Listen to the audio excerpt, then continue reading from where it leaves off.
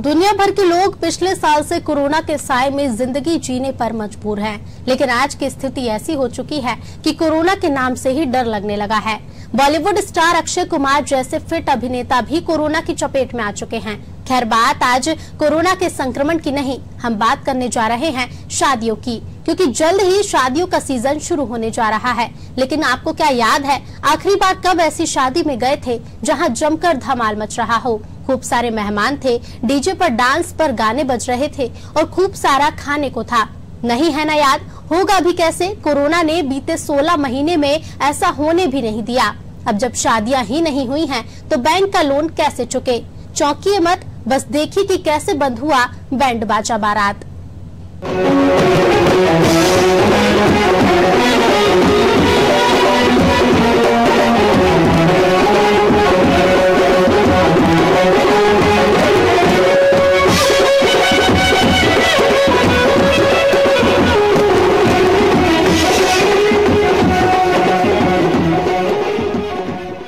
शादियाँ एक ऐसा उत्सव होता है जिसमें हर कोई शरीक होकर उस पल को एंजॉय करना चाहता है। लेकिन कोरोना काल में जिस तरह के हालात पिछले एक साल से बन रहे हैं, शादियाँ तो हो रही हैं, लेकिन कोरोना गाइडलाइन के साथ जहाँ पहले शादियों में हज़ारों लोग शामिल होते थे, अब केवल बेहद करीबी रिश्तेदार ही इन शादियों में शामिल होते हैं।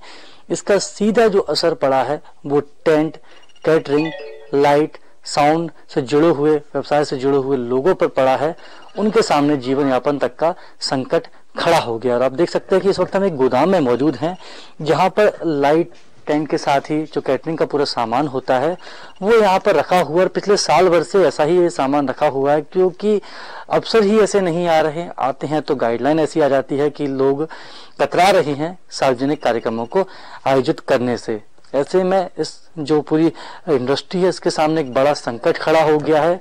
इस इंडस्ट्री से जुड़े हुए लोगों के सामने एक बड़ा संकट खड़ा हो गया कि वो आखिरकार करें तो करें क्या? क्योंकि कोरोना को लेकर जिस तरह के हालात लगातार पनपते जा रहे हैं, उसको देखकर तो ऐसा ही लग रहा है कि जल्द ही कोरोना से निजात नहीं मिलने वाली है। और ये जो सामान आप देख रहे हैं कि गोदाम में रखा हुआ है, वो सामान इसी तरीके से गोदाम में रखा होगा। हालाँकि कोशिश की जा रही है इस व्यवसाय से जुड़े लोगों के द्वारा कि गाइडलाइन जारी की जाए, जिससे स्पष्ट हो सके कि आगामी भविष्य इस इंडस्ट्री का कैसा होगा, क्योंकि इस इंडस्ट्री से जो लोग जुड़े हुए हैं, वो रोज कमाते हैं और रोज खाते हैं। तो आज हमारी कोशिश है कि इस, जो टेंट और कैटरिंग व्यवसाय होता है, इससे जो लोग जुड़े हुए हैं, उनसे हम बात करें, उनकी परेशानी के बारे में जानने की कोशिश करें और सरकार तक इस बात को पहुँचाए कि इस व्यवसाय से जो लोग जुड़े हैं, उनको भी मदद की बेहद ज़रूरत है। शादी एक ऐसा शब्द है, जिसका नाम आते ही बैंड, बाजा धूम धड़ाका के ख्याल आने लगते हैं। डीजे में कौन सा संगीत बजना है और किस गाने पर डांस करना है, इसकी रिहर्सल भी शुरू हो जाती है। डीजे बैंड, रोड लाइट की बुकिंग शुरू हो जाती है। तब एक अलग ही तस्वीर नज़र आती है। चकाचौंध से भरा शादी का गार्डन होता है।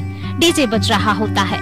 लोग अच्छे अच्छे कपड़े पहनकर शादी में जाते हैं और मेहमानों से तो मिलते ही हैं। साथ ही लजीज खाना भी खाते हैं। लेकिन कोरोना महामारी ने शादियों की रौनक को खत्म कर दिया है। शादियों का स्वरूप बदल गया है। अब शादियों में ना तो मेहमान है, ना लाइट है और ना ही म्यूज़िक। और रही बात खाने की तो अब मेहमान खाने से भी दूर हो रहे हैं। क्यों? ये सवाल महत्वपूर्ण है। तो उसका जवाब हमने इस पेशे से जुड़े हुए लोगों से ही जाना। पिछले साल भी ये सीज़न पूरा नष्ट हो गया था। इस साल भी वो नष्ट की कारगार पर जा रहा है। और हर व्यापारी ने इस साल बहुत उम्मीदों के साथ काफ़ी सामान व्यापारियों से खरीदा, लोन लेके खरीदा। लोगों से काफ़ी एडवांस लिया व्यापारी। मगर अब ये लग रहा है कि वो किस प्रकार से बैंक का कर्ज, व्यापारियों का कर्ज किस प्रकार से चुकाएँगे, क्योंकि उनका परिवार, जिनके साथ लाखों लोग मध्य प्रदेश में जुड़े हुए हैं, वो भुखमरी की कगार पे आ चुके हैं, क्योंकि इस व्यवसाय के साथ अन्य कुछ छोटे बड़े व्यवसाय जुड़े हुए हैं, सब के सब भुखमरी के कगार पे आ चुके हैं। अगर ये सीज़न पिट गया, खराब हो गया तो मुझे लगता है कि काफ़ी लोग अनुचित कदम उठाकर आत्महत्या की ओर भी जा सकते हैं। तो मार्केट की कंडीशन ऐसी कर दी है, तेरह महीने के अंदर जब सीज़न आता है, जब लॉकडाउन लग जाता है, ये ऊपर वाले की देन है, और इसमें कुछ हमें बेनिफिट गवर्नमेंट नहीं देना चाहती। और ना हमारी कुछ हेल्प करना चाहती है कि साल में जी रहे हैं कि साल में मर रहे हैं, इनके बच्चे पढ़ रहे हैं, लिख रहे हैं, नहीं पढ़ रहे हैं, इनके घर का पालन पोषण कैसा हो रहा है? एक परिवार, एक एक ट्रेन हाउस से कम से कम पैंतीस लोग पलते थे। आज वो हम लोगों पैंतीस लोग टूट गए। यह तो रही पेटेंट की बात। अब बात शादियों से जुड़े अन्य व्यवसाय की।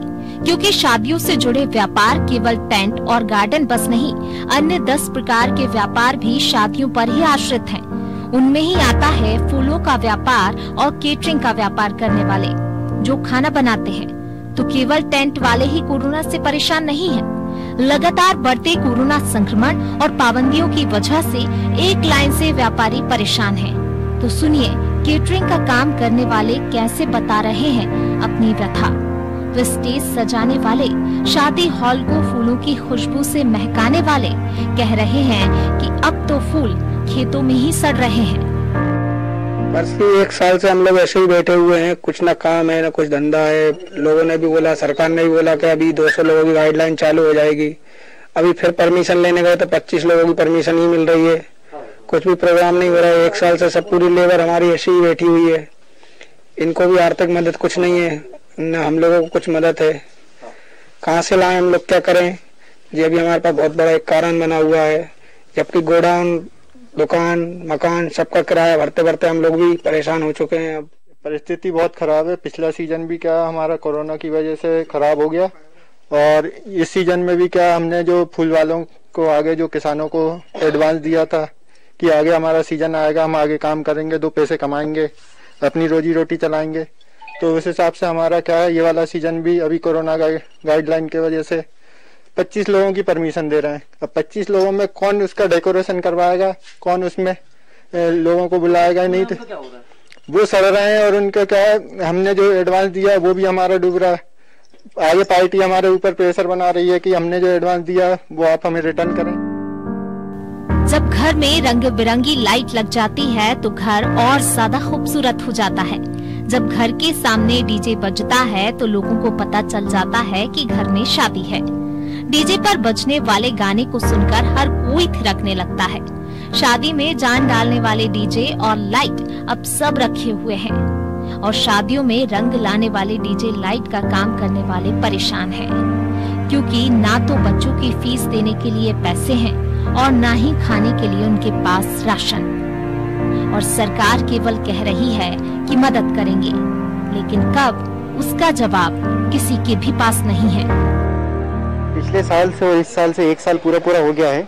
हम बेरोजगारी से पूरे सब हैं और हमारा पूरा काम धंधा पूरा बंद है, जिसके कारण हमने रोजी रोटी की बहुत ज़्यादा समस्या हो गई है।